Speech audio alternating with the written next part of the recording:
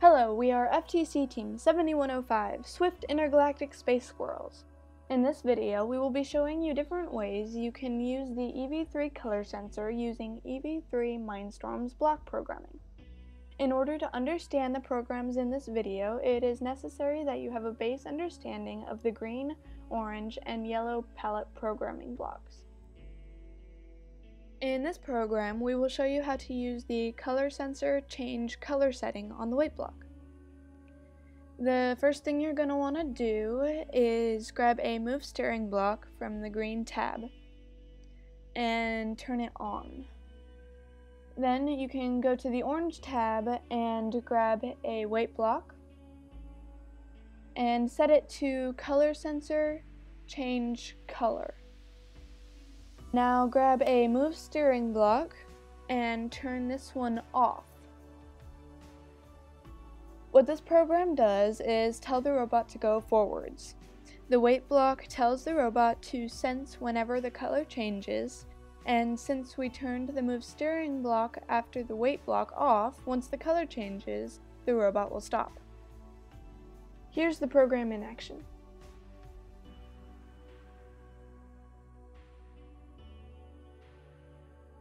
In this program, we will show you how to use the color sensor change reflected light intensity setting on the wait block.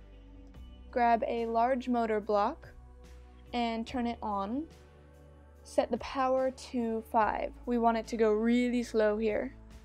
Then go to the orange tab and bring up a wait block and change the setting to color sensor change reflected light intensity. Set the direction to decrease and uh, make the count 50. Grab a move steering block and turn it off.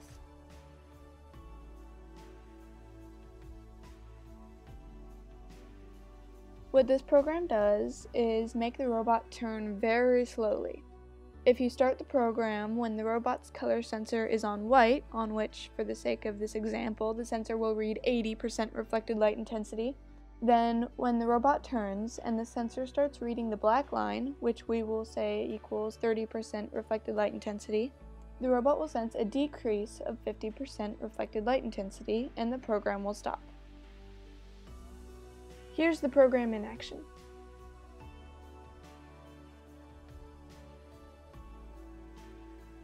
In this program, we will show you how to use the color sensor change ambient light intensity setting on the wait block. Grab a large motor block from the green tab. You can turn it on, then bring up a wait block and set it to color sensor change ambient light intensity. Change the direction to increase and you can leave the count at the default of 10. Bring another large motor block up and turn it off this time. Now you can bring up a third large motor block, but this time you want it to be set for a different large motor than the first ones were set for. What this program does is make one of the wheels on the robot turn while the color sensor is constantly measuring the ambient light intensity and watching for changes in what it's measuring. So when the robot senses an increase of 10% ambient light intensity, the motor that was turning will stop and the other will turn one rotation. Here's the program in action.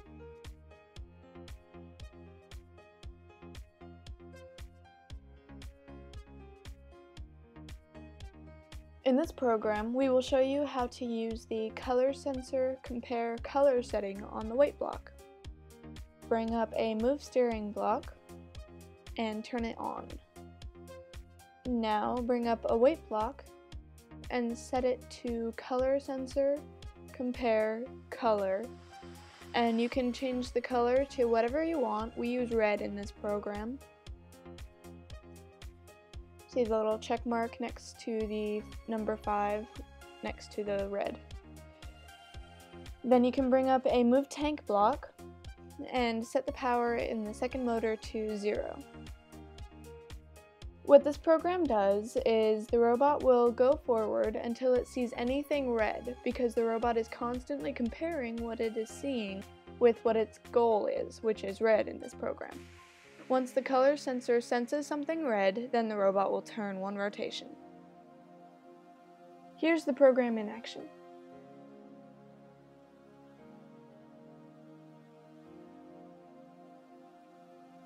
In this program, we will show you how to use the color sensor compare reflected light intensity setting on the wait block.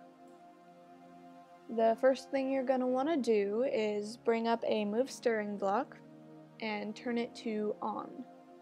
Next, you can bring up a wait block and uh, change the setting to color sensor compare reflected light intensity. You can change the compare type to greater than or equal to, and then change the threshold value to 70. Then bring up another move steering block, and this time you can turn it off. This just helps us to stop the wheels faster. What this program does is tell the robot to go forward while constantly comparing what the light value is to what we want it to be. In this program, we want it to be greater than or equal to 70% reflected light intensity, which is sensed generally on the lighter colors. So when the robot goes forward and sees white, the robot stops. Here's the program in action.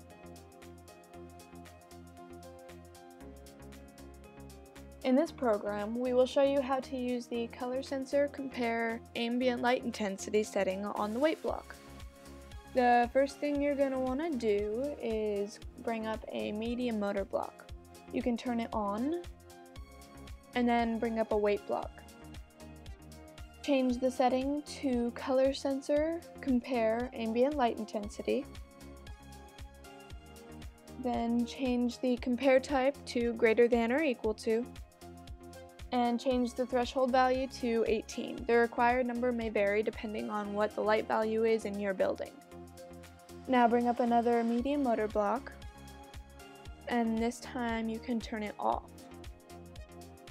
Select a large motor block and set the amount of rotations to 3. What this program does is make the medium motor spin while the robot senses what the ambient light intensity is. Uh, ambient light is natural light, so the light sensor senses what the light is before it is reflected or before any extra light is added in any way. Because we set the ambient light intensity to 18, the medium motor will stop once the sensor sees 18% ambient light intensity. Then a wheel will turn for three rotations. In this program, we will show you how to use the color sensor color setting on the loop block.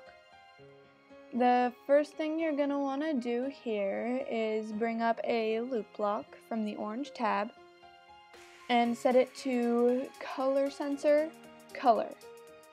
Then you can go back to the green tab and put a move steering block inside the loop and turn it on.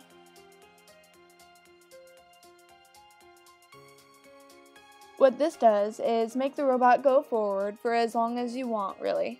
Because you put the move steering block inside the loop, it will go forward until the color sensor senses something red. Once it does, it will exit the loop and the program will end. Here's the program in action.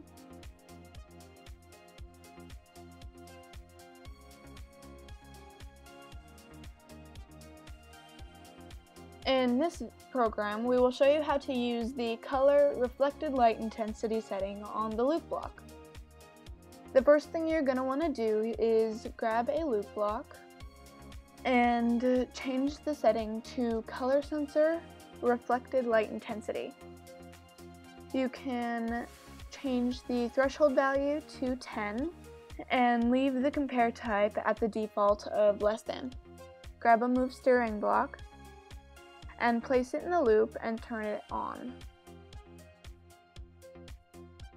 What this does is make the robot drive forward continuously. Once the color sensor senses any light value less than 10, usually darker colors, the robot will coast to a stop and the program will end. Here's the program in action.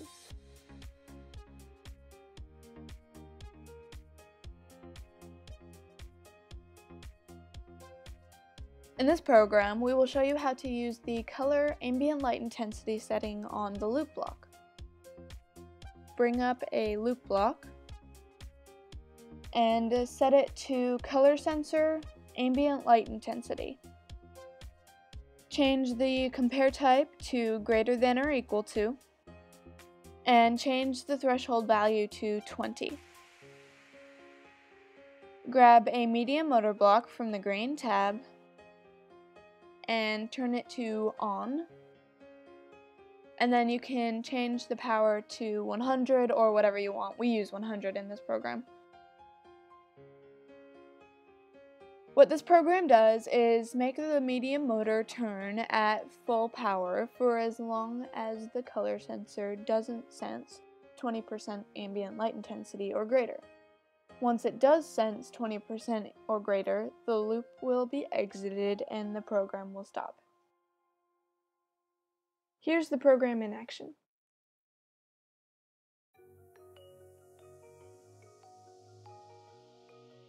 In this program, we will show you how to use the color measure color setting on the switch block. The first thing you're going to want to do is go to the orange tab and bring up a loop block. Then you can grab a switch block and put it inside of the loop. Then you can change the setting to color sensor, measure, color. And then you can change the color in the bottom case to white and keep the top at black. And you can also keep the top as the default case, which is the little black dot right next to the black square. If the color in the opposite case is not seen, then the default case will play. Now you can pull up a move steering block from the green tab and put it in the top case and turn it on. Bring up a move tank block and put it in the bottom case and turn it on.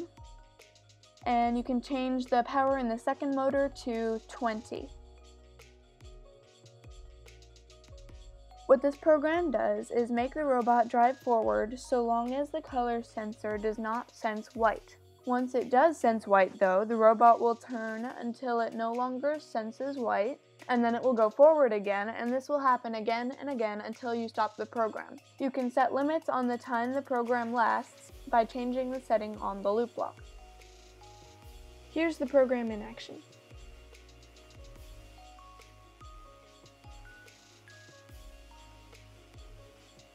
In this program, we will show you how to use the color compare color setting on the switch block.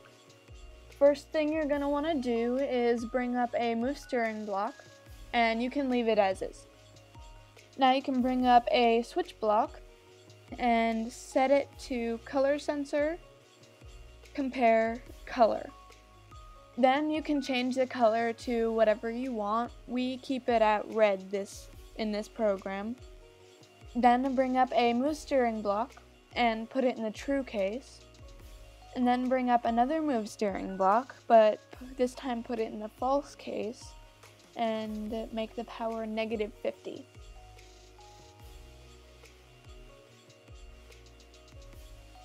What this program does is make the robot go forward one rotation. If, at the end of the rotation, the color sensor senses red, the true case will play, making the robot drive forward one rotation. If not, the false case will play, making the robot drive backwards one rotation. Here's the program in action.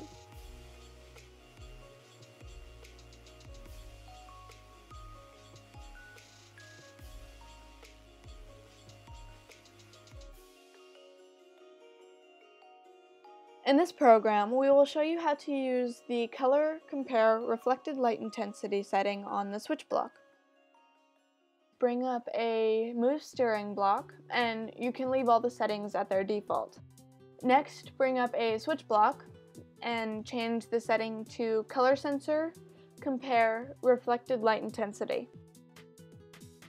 Change the compare type to greater than or equal to, and change the threshold value to 70. Then you can go back to the green tab and grab a move steering block and put it in the true case. Bring up another move steering block and put it in the false case, and this time you can make the power negative.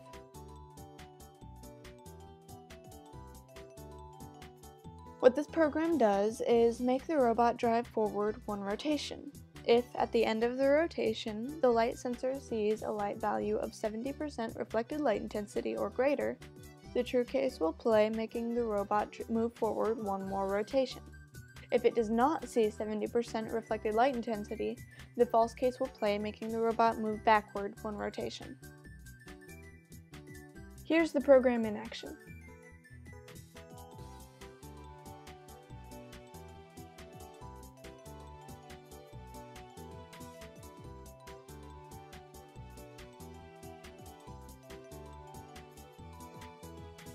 In this program, we will show you how to use the Color Compare Ambient Light Intensity setting on the switch block. The first thing you're going to want to do is bring up a loop block, and then you can place a switch block inside of the loop. Change the setting on the switch block to Color Sensor Compare Ambient Light Intensity. Set the compare type to greater than or equal to and set the threshold value to 20% ambient light intensity. Again, this value varies depending on the building you're in. Now you can bring up a display block from the green tab and place it in the true case and set it to text pixels. Bring up another display block and put it in the false case and set it to text pixels. Next, we're going to set the coordinates for the text that will show up on the screen. It really doesn't matter what you set it for. Uh, if you kept it at 0, 0, then the text would show up in the top left corner. What we set it to is more towards the middle. Set the text size to 1. Set the words in the first text box to greater than 20.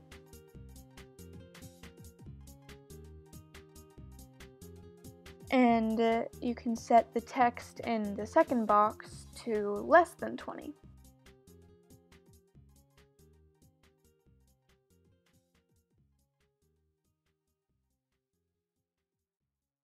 Then you can just set the text size and the coordinates in the second block to what you set it for in the first block.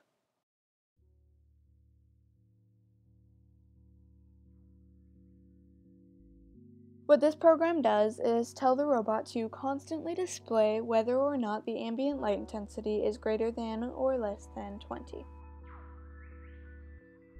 In this program, we will show you how to use the measure color setting on the color sensor block. The first thing you're going to want to do is grab a loop block from the orange tab. Go to the yellow tab and bring up a color sensor block and place it inside the loop. Now you can uh, bring up a switch block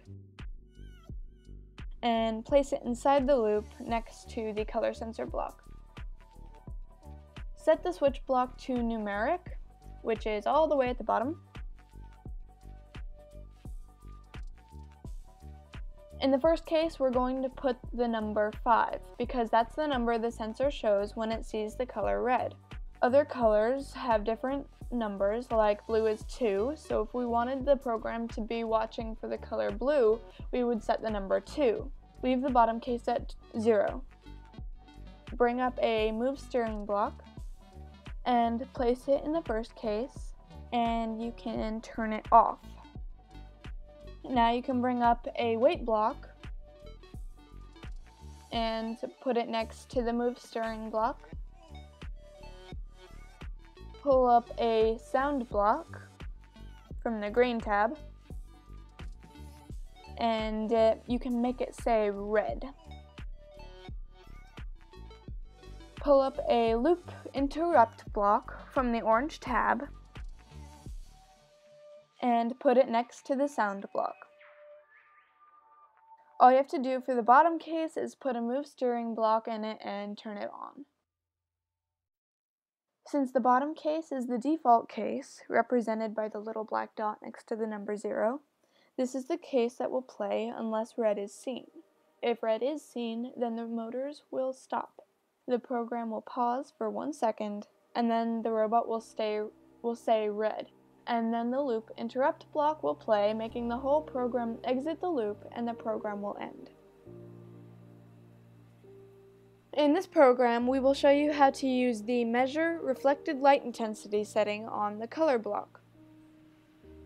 The first thing you're going to want to do here is bring up a loop block.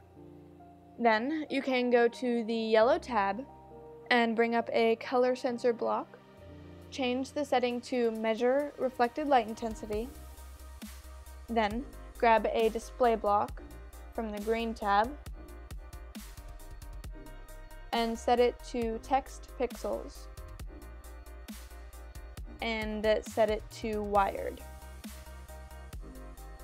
Now take a wire from the color sensor block to the display block and it, you can set the coordinates to whatever you'd like. We use 40 for X and 60 for Y in this program. You can leave the text size at 2. What this program does is make the color sensor constantly measure what the reflected light intensity is and show whatever it's reading on the screen. When the sensor is on darker colors, the reading will be low, either close to zero or zero itself. For lighter colors, higher numbers will be seen, close to 100 or 100 itself. In this program, we will show you how to use the Measure Ambient Light Intensity setting on the co color block. The first thing you're going to want to do is pull up a loop block, and then go to the yellow tab and put a color sensor block inside the loop. Change the setting on the color sensor block to measure ambient light intensity. Grab a display block from the green tab and put it next to the color sensor block. Set it to text pixels and wired. Then take a wire from the sensor block to the display block. Now you can set the coordinates to whatever you want. We use 40 for X and 60 for Y in this program. What this program does is tell the color sensor to constantly watch what the ambient light intensity percentage is. Lower to the ground, not a lot of light can reach the color sensor, so the number will be pretty low. If you were to lift the robot up off the ground, the color sensor is vulnerable to much more ambient light, so the number will be higher. In this program, we will show you how to use the Compare Color setting on the color sensor block. The first thing you're going to want to do is grab a loop block from the orange tab. Then you can grab a color sensor block and put it inside the loop. Set it to compare color. Bring up a switch block and put it in the loop next to the color sensor block. And you can set it to numeric. Take a wire from the sensor block to the switch block. Set the number in the first case to 5 since that's the number that the sensor reads when it sees red. Make the bottom case the default case so that when any color other than red is seen, that case will play. Pull up a move steering block and put it in the top case and turn it off. Then you can put a loop interrupt block next to it. Bring up another move steering block and put it in the bottom case. And you can turn it on. What this program does is have the color sensor constantly compare what color it is sensing with what color we want it to sense, which is red in this case. If the sensor doesn't see red, the bottom case will play, because it is the default case. If it does see red, however, the top case will play, and the move steering block will play along with the loop interrupt block, so the motors will stop and the program will exit the loop and the program will end. In this program, we will show you how to use the Compare Reflected Light Intensity setting on the color sensor block. The first thing you're going to want to do is grab a loop block. Then you can get a color sensor block from the yellow tab and change the setting to Compare Reflected Light Intensity. Change the compare type to greater than or equal to. And change the threshold value to 75. You can bring up a switch block and change the setting to logic. Then you can take a wire from the color sensor block to the switch block bring up a move tank block and put it in the true case. And then you can turn it on. And then you can change the power in the second motor to 30. Put a move steering block in the false case and turn it to off and put a loop interrupt block in the false case next to the move steering block. What this program does is make the color sensor compare what the reflected light intensity is with what we want it to be, which in this case is greater than or equal to 70% reflected light intensity, and tell us whether or not it is sensing what we want to. If it is, then it will turn a little bit and once it does not see greater than or equal to 70% reflected light intensity, then it will stop and the loop interrupt block will play and the loop will be exited and the program will end. In this program, we will show you how to use the Compare Ambient Light Intensity setting on the color sensor block. The first thing you're going to want to do is grab a loop block then you can bring up a color sensor block and place it inside the loop block and set it to compare ambient light intensity. Change the compare type to greater than or equal to and change the threshold value to 20. Pull up a switch block from the orange tab and put it inside the loop block and set it to logic and then take a wire from the sensor block to the switch block. Next, you can bring up a medium motor block from the green tab and put it inside the true case and turn it off. In the false case, place another medium motor block, but this time you can turn it on. What this program does is make the color sensor constantly compare what the ambient light intensity percentage is to what we want it to be, which is 20% ambient light intensity or greater. If it is greater than, than or equal to 20, then the true case will play, making the medium motor stop. If it is less than 20, then the medium motor will turn. In this program, we will show you how to use the Calibrate Reflected Light Minimum setting on the color block. The first thing you're going to want to do here is grab a color sensor block and set it to Calibrate Reset. This makes the sensor a clean slate to work with. Then you can grab a wait block from the orange tab and set it to however many seconds you need to make sure your robot is on a black line. We use about 5 seconds. Bring up another color sensor block and change the setting to measure reflected light intensity. Bring up yet another color sensor block and set it to calibrate reflected light intensity minimum. Then you can take a wire from the second color sensor block to the third. What this program does is calibrate the light sensor to read 0 on a black line by first resetting the color sensor block and making it a clean slate. Then for 5 seconds it measures the least possible reflected light intensity, which is 0, and making that the new value for black. In this program, we will show you how to use the Calibrate Reflected Light Maximum setting on the color block. The first thing you're going to want to do is grab a color sensor block and set it to Calibrate Reset. This makes the sensor a clean slate to work with. Then you can grab a wait block from the orange tab and set it to however many seconds you need to make sure your robot is on a white line. We use about 5 seconds. Bring up another color sensor block and change the setting to Measure Reflected Light Intensity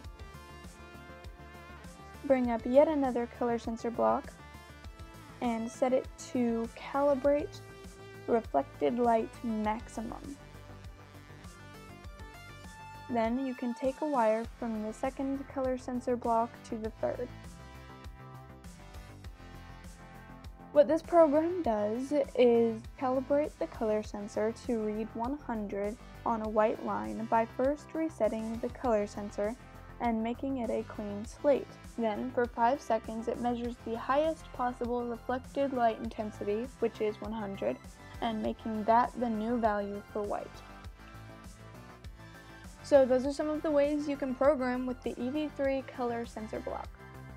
If you want to learn different ways to program your EV3 robot, check out our other Mindstorms programming videos. Thanks for watching. Bye.